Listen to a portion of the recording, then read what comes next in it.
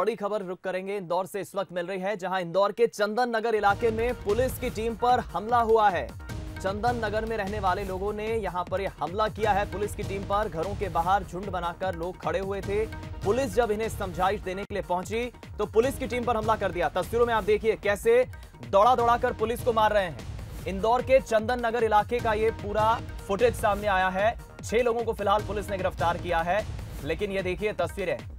जो पुलिसकर्मी दिन रात अपनी जान जोखिम में डालकर हमारी सेवा कर रहे हैं, उन पुलिसकर्मियों के साथ चंदन नगर के लोग किस तरह का बर्ताव कर रहे हैं, आप देखिए। शर्मनाक है ये। ये इंदौर शहर, जहाँ अभी एक हफ़्ते पहले मेडिकल टीम पर हमला हुआ था, और ये इंदौर के चंदन नगर इलाके के लोगों को आप देखिए, किस तरह दौड़ा दौड़ा कर पुलिस की टीम पर हमला कर रहे हैं। पीयूष हमारे साथ जुड़ गए हमारे संवाददाता फोनलाइन पर। पीयूष बेहद शर्मनाक है इसकी। जितनी निंदा की जाए कम होगी। एक हफ़्ते पहले ही मेडिकल टीम पर हमला हुआ। और ये चंदन नगर के लोग क्या मैसेज देना चाहते हैं देश को? देखिए बिल्कुल कहीं ना कहीं ये तस्वीरें काफ़ी हैरान कर देने वाली है और काफ़ी चौंकाने वाली भी है। जिस, तरीके से इंदौर के ही टाटपट्टी बाकल में स्वास्थ्य विभाग की टीम पर हमला हुआ था मारपीट हुई थी और उसके बाद में कहीं न कहीं कहा जा रहा था कि अब स्थिति नियंत्रण में होगी। लेकिन उसके साथ ही अब चंदन नगर क्षेत्र की तस्वीरें सामने आई है। ये वीडियो वायरल हुआ है। दरअसल स्वास्थ्य विभाग की टीम आज पुलिस के साथ में मौके पर पहुँची थी और लोगों की स्क्रीनिंग की जा रही थी और लोगों का यहाँ पर जाँच की जा रही थी। और इसी दौरान कहीं न कहीं यहाँ पर विवाद की स्थिति बनी और इस विवाद इतना बड़ा कि यहाँ पर पुलिस को पहले मौके से भागना पड़ा। उसके बाद में स्थिति को यहाँ पर काबू में किया गया। बताया जा रहा है कि स्वास्थ्य विभाग की टीम के साथ भी यहाँ पर कुछ मारपीट की है। न सिर्फ़ मारपीट बल्कि लोगों ने वहाँ पर मौके पर पत्थर भी उठाया और जो टीम जाँच के लिए पहुँची थी, उन पर यहाँ पर हमला कर दिया। हालाँकि स्थिति को देखते हुए और मौके पर पुलिस ने यहाँ पर तुरंत एक्शन लिया और फ़िलहाल बताया जा रहा है कि छह लोगों को यहाँ पर हिरासत में ले लिया गया है। अब इनके खिलाफ राष्ट्रपति की कार्रवाई की जाएगी, क्योंकि मामला काफ़ी यहाँ पर गंभीर है दीपक, और तरीके से जो लोग बगैर अपनी जान की परवाह किए ऐसे इलाकों में जा रहे हैं जहाँ पर संक्रमण का खतरा है और उनके साथ में इस तरीके से मारपीट होती है तो सवाल निशान यहाँ पर खड़ा होना लाजमी है। और आखिर कोरोना के खिलाफ जो एक युद्ध है इंदौर शहर एक बड़ी लड़ाई लड़ रहा है, उसे यहाँ पर कैसे जीता जा सकेगा? ये सवाल यहाँ पर उठता है। दीपक। बिल्कुल सही सवाल आपने उठाए हैं, पीयूष। बहुत बहुत शुक्रिया आपका बातचीत के लिए, जानकारी उठाने, जानकारी हम तक पहुँचाने के लिए। लेकिन बड़ा सवाल यही उठता है, तस्वीरों को देखकर आप देखिए दिन रात पुलिसकर्मी, डॉक्टर्स जो हमारी जान जोखिम में डालकर हमारी जान बचाने के लिए कटिबद्ध हैं, उस तरह से बर्ताव किया जा रहा है उन मेडिकल्स के साथ, उन पुलिसकर्मियों के साथ, डॉक्टर्स के साथ। और ये एक बार फिर इंदौर शर्मसार हुआ है। एक हफ़्ते पहले इंदौर में मेडिकल टीम पर पथराव होता है। उसके बाद कुछ व्यापारी लोग माफ़ी मांगते हैं, शहर काजी माफ़ी मांगते हैं। और ये वही इंदौर शहर के चंदन नगर के लोगों के आप देखिए तस्वीरें। चंदन नगर में कौन है? इन्हें चिन्हित करिए, इनके खिलाफ रासुका की कार्रवाई करिए। प्रशासन, पुलिस, सरकार, शिवराज सिंह चौहान लगातार ये अपील कर रहे हैं, सरकार ये अपील कर रही है, लेकिन लोग समझ नहीं रहे हैं। कौन लोग है ये? इन्हें चिन्हित किया जाना चाहिए और तुरंत जेल भेजना चाहिए। बढ़ते हैं अगली खबर की ओर। राजधानी भोपाल से इस वक्त खबर, जहाँ पूर्व मंत्री पीसी शर्मा की एक सराहनीय पहल यहाँ देखने को मिल रही है। पीसी शर्मा ने पुलिस लाइन नेहरू नगर में सैनिटाइजर मशीन लगाई है। मशीन के नीचे से निकलने पर ऑटोमेटिक सैनिटाइज हो जाता है व्यक्ति। पुलिस कर्मियों के संक्रमित होने के बाद ये मशीन पीसी शर्मा ने लगवाई है। एक सराहनीय पहल। ज़ाहिर है कि पुलिसकर्मी जो हमारी दिन रात सेवा में जुटे हैं, हमारी सेवा कर रहे हैं ड्यूटीज़ दे रहे हैं और ऐसे में पुलिसकर्मी कहीं ना कहीं फ़ील्ड पर जब तैनात होते हैं अपनी ड्यूटी के वक्त तो वो खतरे में होते हैं। और उन पुलिसकर्मियों की चिंता की है पीसी शर्मा ने पूर्व जनसंपर्क मंत्री और उन्होंने सैनिटाइज मशीन यहाँ पर लगाई। पुलिस विभाग की एक डिमांड थी कि जो पुलिस कॉलोनी है हमारी पुलिस लाइन, इसमें जो पुलिस कर्मचारी ड्यूटी से वापस आते हैं तो एक शॉवर सैनिटाइजर की आवश्यकता थी, कल रात को हमने लगा दिया। आज वो शुरू हो जाएगा, जिससे जो भी पुलिसकर्मी लौट के आएगा अपनी ड्यूटी से तो वहाँ सैनिटाइज होगा, फिर अपने घर में जाएगा तो तो परिवार और पूरा क्षेत्र, मैं समझता हूँ कि कोरोना से बचा रहेगा और उनका स्वास्थ्य ठीक रहे, ये मेरी शुभकामनाएँ पूरे पुलिसकर्मियों की। ये चीज़ आज हम उनको समर्पित कर रहे हैं। कोरोना वायरस की वजह से पूरी दुनिया में दहशत का माहौल है। इस वायरस की वजह से हज़ारों मौतें हो चुकी है और सैकड़ों लोग प्रभावित हुए हैं। तो वहीं दुनिया के सुपर पावर कहे जाने वाले देश के सामने भी मुश्किल की घड़ी है। वहीं भारत में मलेरिया के इलाज में उपयोग होने वाली हाइड्रोक्सी क्लोरोक्वीन दवा की वजह पूरी दुनिया इस दवाई को कोरोना वायरस के इलाज की एक उम्मीद तरह देख रही है। यही नहीं, इस दवाई को गेम चेंजर का दर्जा दिया जा रहा है और विश्व में भारत को गेम चेंजर के रूप में देखा जा रहा है। बताया जा रहा है कि इस दवाई के लिए पूरी दुनिया को भारत से काफ़ी उम्मीदें हैं, क्योंकि इस दवाई की पूरी सप्लाई का 70 फ़ीसदी हिस्सा भारत देश में ही बनता है। दावा, ऐसा दावा भी किया जा रहा है कि भारत ने 2019 से 2020 के दौरान करीब करीब एक दशमलव बाईस बिलियन अमेरिकन डॉलर मूल्य की हाइड्रोक्सी क्लोरोक्वीन ओपीआई एक्सपोर्ट किया था। यही नहीं, दावा यह भी किया जा रहा है कि भारत में इस दवा बनाने की कैपेसिटी काफ़ी प्रभावी है। भारत 30 दिन में 40 टन हाइड्रोक्सी क्लोरोक्वीन दवाई बनाने की क्षमता रखता है। यानी कि इस तरह से 20 मिलीग्राम की 20 करोड़ टैबलेट्स बनाई जा सकती है, जिसको लेकर पूरी दुनिया के लिए भारत एक नई उम्मीद बनकर सामने आ रहा है।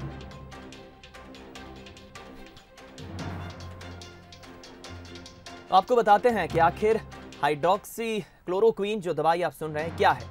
ये एक एंटी मलेरिया ड्रग है। दूसरे विश्व युद्ध के दौरान इसका इस्तेमाल किया गया था। आम बोलचाल की भाषा में कुनैन की कड़वी गोली इसे कहा जाता है। 2012 में कोरोना वायरस वायरस परिवार के सदस्य मार्स का संक्रमण फैला था 2012 में। आठ साल पहले और वैज्ञानिकों ने हज़ारों दवाइयों का जो है इसमें परीक्षण किया था इसका और क्लोरोक्वीन सहित तमाम दवाएँ कोशिकाओं में वायरस का संक्रमण फैलाने से रोकने में मददगार पाई गई। इन पर आगे शोध नहीं किया गया, क्योंकि एक सीमा के बाद ये ज़्यादा असरदार साबित नहीं हो सकी। कोरोना वायरस से मुकाबले के लिए इस ड्रग को संभावित इलाज की सूची में ऊपर रखा गया है।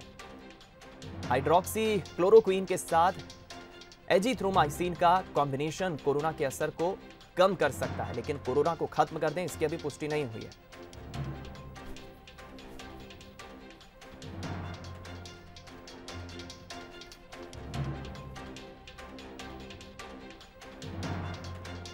अमेरिकी राष्ट्रपति डोनाल्ड ट्रंप ने कोरोना वायरस की महामारी से निपटने के मामले में विश्व स्वास्थ्य संगठन, यानी डब्ल्यूएचओ पर बड़ा हमला बोला है। उन्होंने डब्ल्यूएचओ को लेकर चीन पर अधिक ध्यान देने का आरोप लगाया है। ट्रंप ने कहा है कि डब्ल्यूएचओ को अमेरिका से बड़े पैमाने पर धन मिलता है। मैंने चीन के लिए यात्रा पर बैन लगाया तो वो मुझसे असहमत थे और उन्होंने मेरी आलोचना की। तो बहुत सारी चीज़ों के बारे में गलत थे। ऐसा लग रहा है कि उनका चीन पर ज़्यादा ध्यान है। हम डब्ल्यू पर खर्च की जाने वाली धनराशि पर रोक लगाने जा रहे हैं।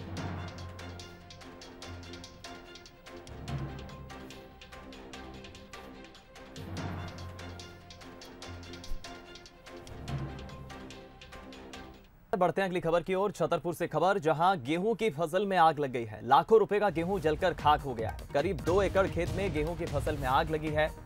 बिजली का तार टूटकर गिरने से हादसा हुआ है। कड़ी मशक्कत के बाद आग पर काबू पाया गया।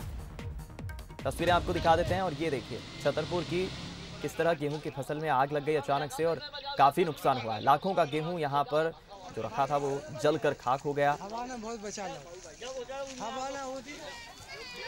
हालाँकि ये आग लगने का कारण बताया जा रहा है। बिजली का जो तार है वो टूट कर गिर गया था उसके बाद स्पार्क हुआ आग लग गई और देखते ही देखते आग ने विकराल रूप ले लिया।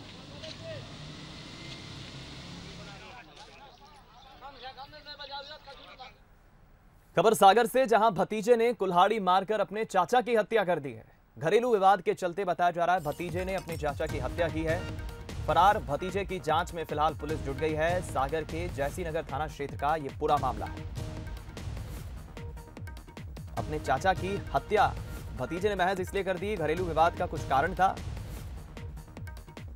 और कुल्हाड़ी मारकर चाचा को मौत के घाट उतार दिया।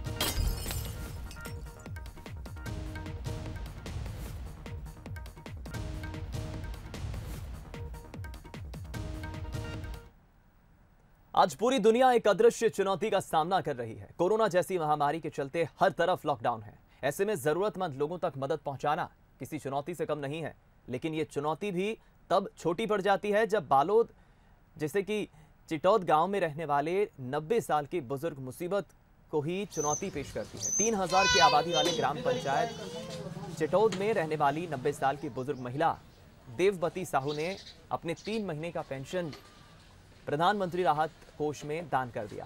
उन्होंने अपने जीवन निर्वाह की जरूरतों को सीमित करते हुए जन कल्याण के लिए लोगों को राह दिखाई है। इसी गाँव की रहने वाली एक मासूम बच्ची काजल साहू ने भी अपने गुल्लक में जमा कुल पाँच हज़ार रूपए देश की सेवा में समर्पित कर दिया एक बुज़ुर्ग और एक मासूम के इस जज्बे की अब हर कोई तारीफ़ कर रहा है।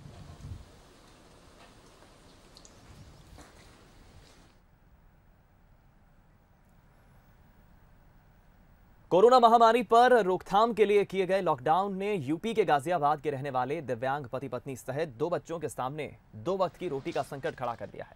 यह परिवार शहडोल ज़िले में भीख मांग कर अपना गुजारा कर रहे थे, लेकिन 21 दिन के लॉकडाउन ने इस परिवार को भूखा मरने की दहलीज तक पहुँचा दिया। लोगों ने परिवार को भीख देना बंद कर दिया था, जिसके बाद ये सड़कों पर भटक रहे थे। ऐसे में किसी ने इन्हें नगर पालिका धनपुरी का पता बताया तो दिव्यांग परिवार किसी तरह पैदल सफ़र तय कर नगर पालिका पहुँच गया, जहाँ नगर पालिका सीएमओ रविकरण त्रिपाठी ने जब पीड़ित परिवार की दास्तां सुनी तो उनका दिल पसीज गया। उन्होंने पीड़ित परिवार का मेडिकल चेकअप कराया, फिर भरपेट खाना खिलाकर एक महीने का राशन मुहैया कराया, जिसके बाद पालिका की गाड़ी से ही परिवार को उनके गंतव्य तक पहुँचाने का इंतज़ाम किया गया। हम गाजियाबाद से आए हैं। दोनों ब्लाइंड हैं। अंधे हैं पति पत्नी। कैसे घूमते घूमते गए बस्ती के अंदर। किसी ने बताया कि नगर पालिका धनपुरी चले जाइए। वहाँ कुछ आप लोगों को मिलेगा। तो वहाँ से रोटी, सब्ज़ी, दाल, चावल, जो भी राशन सब मिला और इन लोगों ने बहुत कुछ मदद की हमारी। भरपूर राशन मिला। हम लोग गाजियाबाद के रहने वाले गाजियाबाद उत्तर प्रदेश से ये यहाँ पर पंद्रह तारीख से बुढ़ार में रुके थे। अचानक आज बुढ़ार नगर पालिका पहुँचे उनको किसी ने बताया कि यहाँ पर आपको राशन मिल जाएगा यहाँ मदद मिल जाएगी। तुरंत हमारे कर्मचारियों ने मेरे पास कार्यालय में लाया गया। उनको सारी सुविधाएँ मेडिकल से लेके स्वास्थ्य परीक्षण कराया गया मास्क दिए गए सैनिटाइजर साबुन, डिटाल साबुन, हमाम साबुन और निरमा कपड़ा धुलने के लिए एवं पक्का एवं कच्चा भोजन, दाल, चावल, आटा, सब्ज़ी, मसाला, तेल आदि नगर पालिका धनपुरी के द्वारा उपलब्ध कराया गया। लॉकडाउन के दौरान लोग सोशल डिस्टेंस नियमों का पालन करने के बजाय खिलवाड़ कर रहे हैं। देश भर में कोरोना की चुनौतियों से निपटने के लिए लॉकडाउन किया गया है, लेकिन करेरा में बैंकों के बाहर सरकार के निर्देशों का पालन नहीं किया जा रहा। है सुबह से ही कई बैंकों के बाहर भीड़ लग जाती है। हालाँकि बैंक के अंदर कम ही लोगों को जाने दिया जा रहा है, लेकिन बाहर लोग लापरवाही बरत रहे हैं। देखिए आप।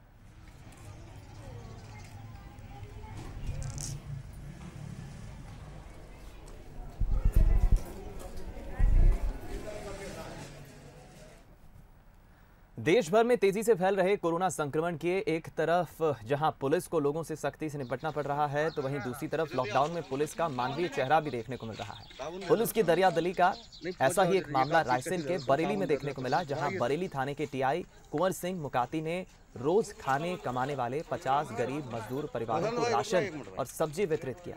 लॉकडाउन के कारण 50 से ज़्यादा मजदूर परिवार बरेली में फंसे हुए हैं, जिनकी पिछली 14 दिन से बरेली टीआई देखभाल में जुटे हुए हैं। जाओ तो आप, आप अरे बाकी पीछे बच्चे पीछे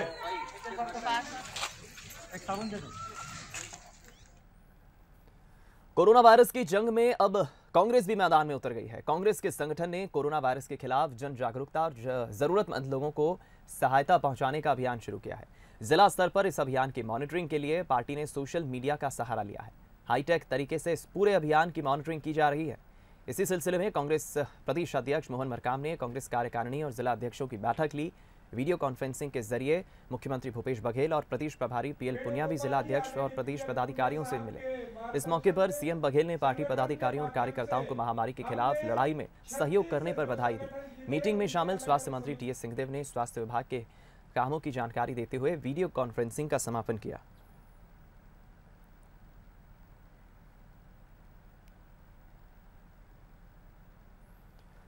कोरोना महामारी के इस वैश्विक संकट में जहाँ जरूरतमंदों को मदद पहुँचाने के लिए हज़ारों हाथ आगे आ रहे हैं तो वहीं अभी भी कुछ ऐसे लोग हैं जो मददगारों की नज़र से छूट गए हैं। ऐसे में बंसल न्यूज़ की मुहिम है कि ऐसे लोगों तक भी मदद पहुंचाई जाए।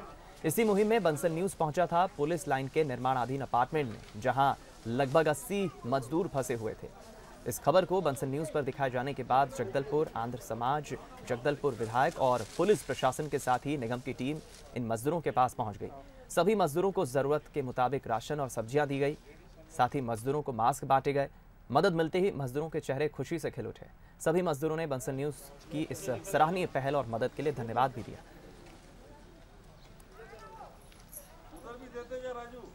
बंसल न्यूज़ की खबर का असर हुआ है और लॉकडाउन में फंसे 80 मजदूरों को अब उनका राशन मिलने लगा है। आप देख सकते हैं कि ये राशन के पैकेट पहुँचे हुए हैं और बंसल न्यूज़ ने जब इस खबर को चलाया था कि 80 मजदूर फंसे हुए हैं जगदलपुर में और उनके पास अब राशन खत्म होने को आया है और अब वो परेशान होने लगे हैं किस तरीके से लॉकडाउन का जो दौर है वो ख़त्म करेंगे वो। लेकिन आंध्र समाज जो है वो खुद आगे बढ़कर अब ऐसे मजदूरों की मदद करने के लिए आगे बढ़े हैं और आज इन परिवारों को राशन बांटने के लिए पहुँचे हैं। यहाँ पे हमारे साथ आंध्र समाज समाज के अध्यक्ष भी खुद मौजूद हैं, उनसे जानते हैं, सर आपको सूचना कैसे मिली यहाँ की और आप अब पहुँचे यहाँ पर राशन बांटने के लिए? जिला प्रशासन के द्वारा और बंसन न्यूज़ के माध्यम से हमको सूचना मिली कि यहाँ कुछ मजदूर फंसे हुए हैं इस कोरोना संकट की आपदा में। तो हम हम हम सबसे पहले यहाँ आए और यहाँ पे राशन और पानी की व्यवस्था, जितना हो सका प्रयास किए और देने कर रहे हैं। ये तो बड़ा कष्ट का विषय है। कई गरीब मजदूर जो रोज़ कमाते हैं, रोज़ खाते हैं, आज इस संकट की घड़ी में सब जहाँ के तहाँ फंसे हैं और बहुत देख रहा हूँ मैं यहाँ पे बहुत तकलीफ़ में है लोग। तो हम दिबस्तर district Andhra association, Shri Balaji temple committee के सहयोग से हम सब मिल करके यहाँ पे राशन और कुछ सब्जियों की व्यवस्था करके थोड़ा सा प्रयास कर रहे हैं कि थोड़ा सा इस कठिन दौर में इनको सहायता मिल जाए। आप देख सकते हैं यहाँ पे महिलाएँ अब खुशी का चेहरा लेकर ये राशन जो है अपने घर तक लेके जा रही है मतलब जहाँ वो लोग रुके हुए हैं, जो ये बिल्डिंग, नवनिर्मित बिल्डिंग है, जहाँ पर बिल्डिंग का काम चल रहा है, वहाँ पर फंसे हुए थे। वहाँ पर अब ये राशन बना लेकर जा रही हैं और इस राशन को अब जो है, वो भरपेट खाना खा पाएँगे। और बंसल न्यूज़ ऐसे ही सामाजिक संगठन और जिला प्रशासन से ये अपील करता है कि ऐसे जो ज़रूरतमंद लोग हैं, ज़रूरतमंद मजदूर हैं, जो लोग लॉकडाउन के दौरान फंसे हुए हैं, ऐसे लोग कोई भी भूखा ना सोए और इनके लिए व्यवस्था लगातार जो है होते रहे। हालाँकि फ़िलहाल भी इससे पहले भी व्यवस्थाएँ होती रही हैं और अब भी व्यवस्थाएँ जो है लगातार जिला प्रशासन और सामाजिक संगठन कर रहे हैं, जिससे संगठनों को बंसल न्यूज़ बहुत ज़्यादा धन्यवाद देता है और इस तरीके की मुहिम लगातार जो है लॉकडाउन के दौरान चलती रहे।